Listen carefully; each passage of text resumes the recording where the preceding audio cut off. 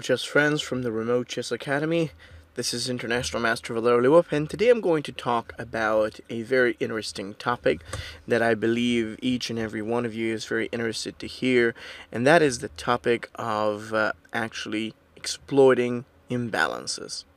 See, a lot of times people don't know how to think or how to handle this, so I will try to provide my best in terms of explaining how exactly does that work and what you have to keep in mind whenever it comes down to you um, you know having to think about weakness or vulnerabilities that you'd like to exploit?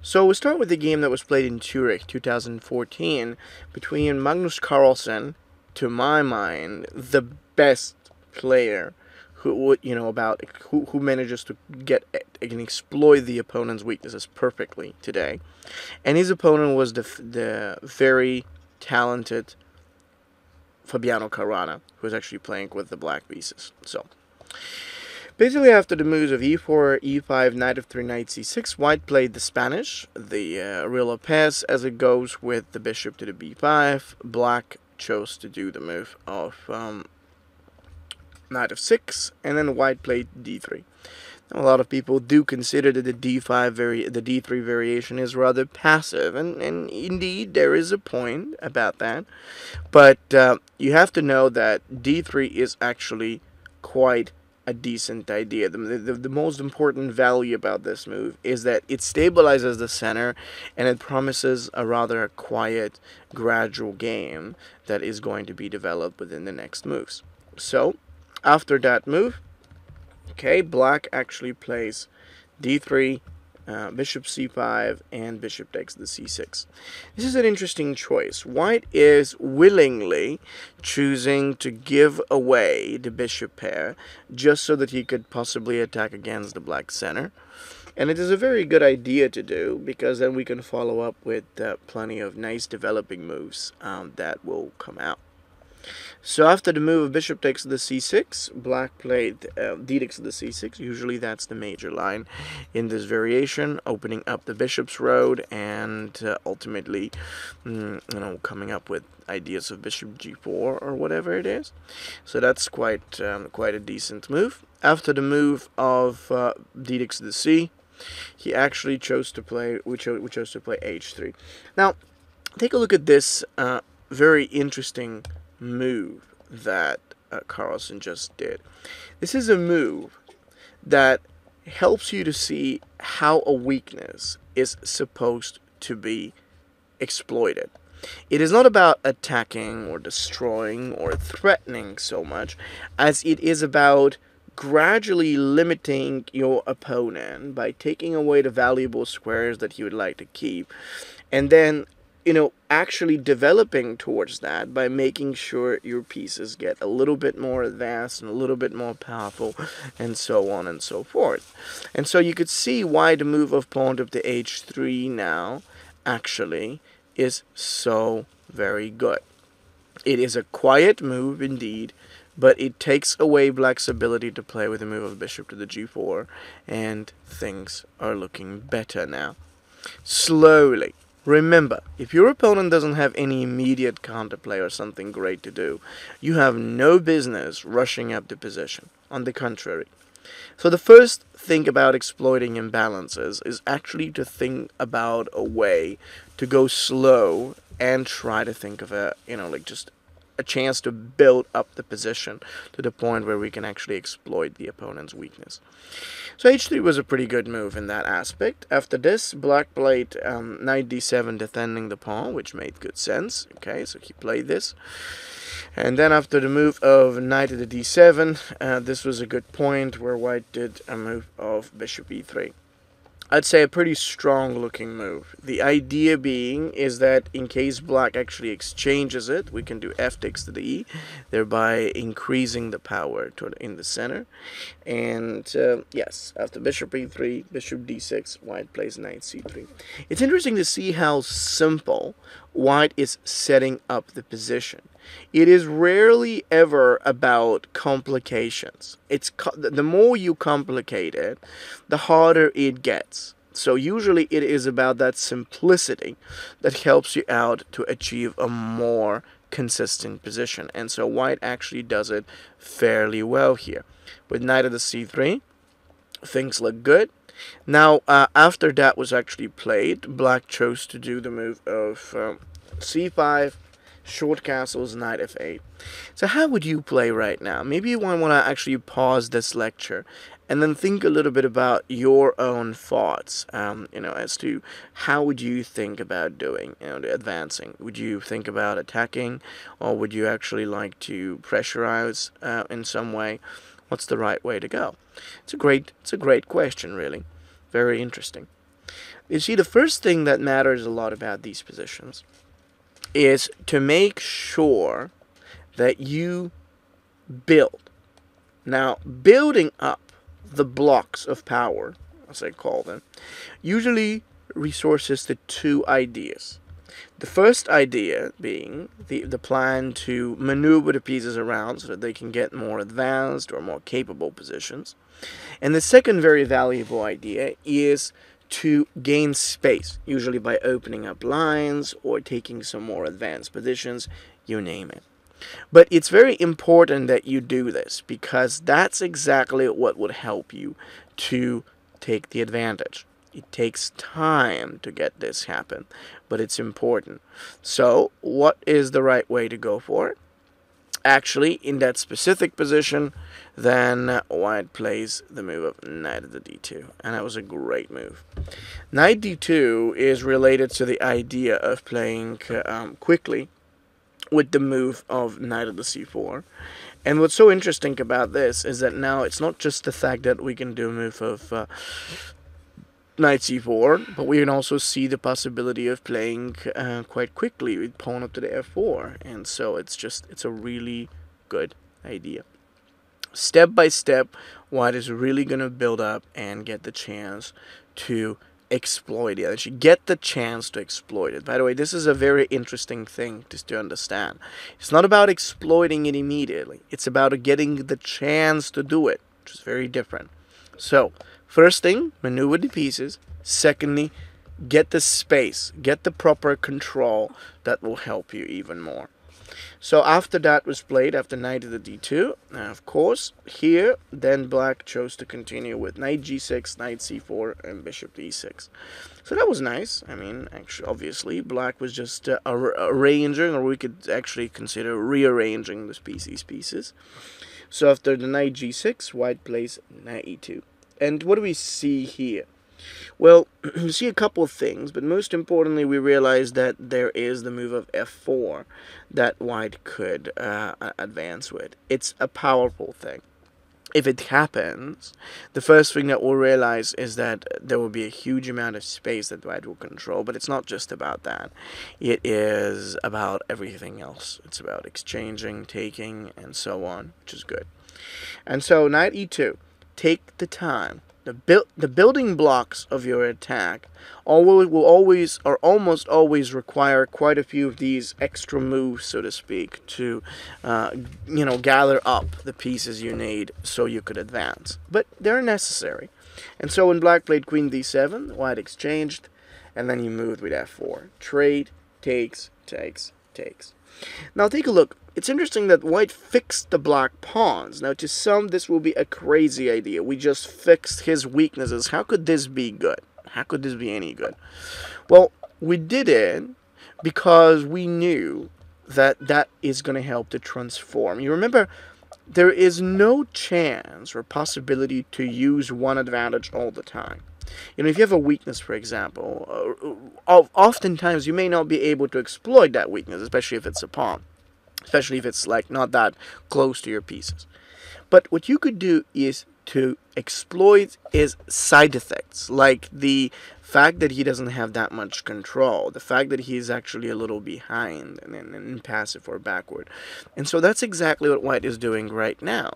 While black was definitely quite passive, white uses a couple of exchanges, not so much in order to exploit the weakness, um, you know, of the, the double pawn, but on the contrary, try to think about a way to go in the king side. It was a great idea because now f4 definitely opens it up. And now after rook takes f4, a new imbalance is created as in the presence of the opponent's uh, of the opposite colored bishop in the opponent's little space. White gets a great space. Now white sacrificed the one advantage of the double pawns to get two more that are in my opinion even bigger. So this is really interesting. So after black cho chose to do b6, the question is what is the point of this move? Maybe black would like to do d5 or something like this, but it really didn't matter because now the moment black played it, uh, white can continue here with the move of queen h5. So he keeps on building. It's interesting. We do not exploit the opponent's weakness immediately. It takes a lot of time, you know, to really gather up and get all those forces around so that they can they can get ready and attack. But what is great about it is that now we have the queen and the rook. we have the pressure against f7 and possibly the black king. And everything looks excellent. Black played d5. Not a great move, I'd say, I have to admit. Then, what should white do? Black is you know, desperately trying to get some counterplay. He's desperately trying to open up the center, really get give his pieces the more uh, shots to you know attack anything really. So what is White's best way to go about this? This is a very important question.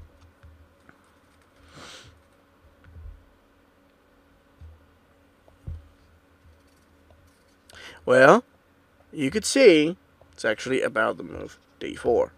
Nobody has the right to open up the center that quick. If they do, then usually that causes a lot of weaknesses. And that is exactly what you get to exploit. The tr trouble is that presently right now, with the move of pawn to uh, d4, in case black exchanges, then there's going to be the recapture with the bishop, there's going to be all these attacks, tactics, and whatever you call it. One of the biggest ideas is that you've got to open. You do not open, things are really not going to work. So, let's do it. And after d4, black played c4, b3. It's interesting that every single move more or less creates or puts black under a very severe pressure. We're not relying on nice quiet moves to make this happen. We're relying on the possibility to just constantly make him to worry again and again and again and again which is very unbearable. A lot of times the opponent's just not going to be able to hold it. And that's what happens, more or less, actually, here. So let's see. After the move of pawn to the b3, then black played with queen to the c6. Not a great move, but I guess he just had to do it. And then after the move, queen to the b, queen to the c6, white played rook f1. And now you realize the whole value of all this. Just let's get the pieces going. They're close, and there are, uh, you know, there's perfect pressure out there against the opponent on f7. Long side castles, b takes the c, queen takes the c. So white has built almost everything, and yet it turns out that we get this position in which eh, it feels like white's got something, but it's hard to prove it. It's hard to really, uh, you know, I'd say capitalize on it despite the good looks. So really the question is, okay, White has a good game. He's already built the position that he wanted. So how does he actually bring that together? What does what do we do? Do we uh, choose to pressurize? Do we attack in some way? What do we do? So I'd like you to think. What would you do? We got great position for attack. We have the center we have the pieces. We have all the necessary squares that I love. All of this is wonderful. But what to do to make it count? You know, that was actually quite interesting because there's not, or there doesn't seem to be an easy way to do this. No easy way to do this. But there is a way to do this anyway. And the way to do this was actually through the move of rook takes f7. And that was awesome. What this move is doing, actually, is that it breaks through th a sac with a sacrifice. Now, a lot of people will be like, ah, I don't want to sacrifice. This looks too risky. What if I don't calculate it too well?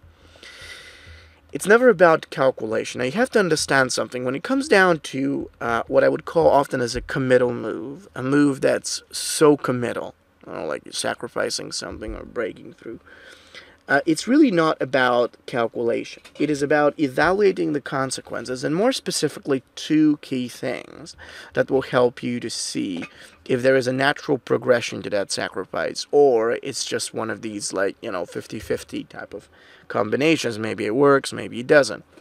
So, what is the way to do it? Well, the real way to do it is to ask yourself, what is the follow up, or what do I win from this. If you win something great because of that, it's perfect. You do it and you go about that and you go your way. It's great. But if you don't, then you have to keep analyzing, or maybe that actually provides you with a good possibility to know okay, I'm not right. I don't want to, I don't, I shouldn't do that type of move. After rook takes f7, bishop takes f7, rook takes f7, the good thing is that white saw the follow-up.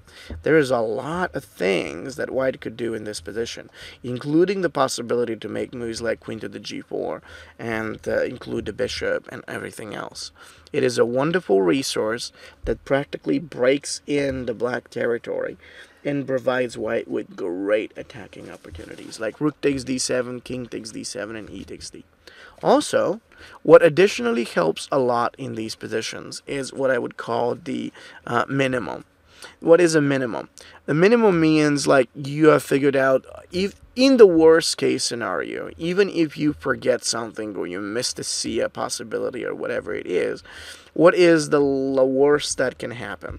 Now, in that particular case, White is an exchange now, but he's got enough material, so even if things go astray, we still have enough to uh, continue and actually not feel bad about this position. That is how it's about uh, how, how it's supposed to be done. It's a really good idea.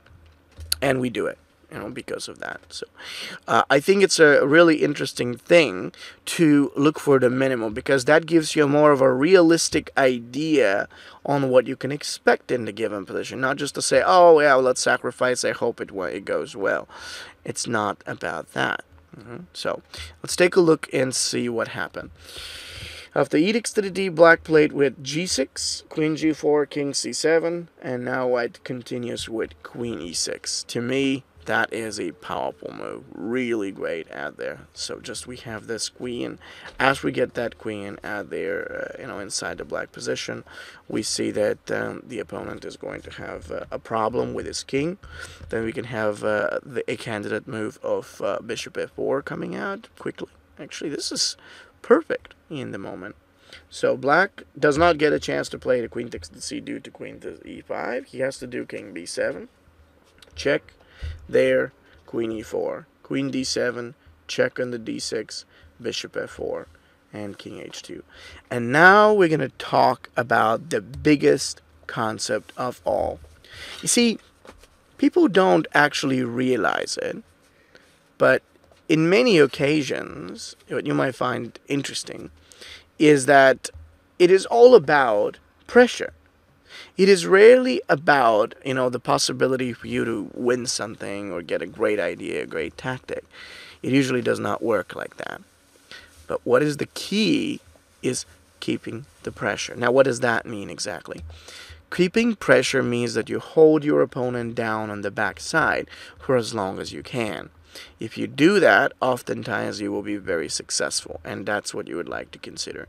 So in that type of position, uh, after king h2, even if black gets a little bit of time to make something, it doesn't matter because truth is he is not going to get a chance to stabilize or do anything great. And so like after that move is played, uh, the position is fairly bad. He played rook c4, white plays bishop g.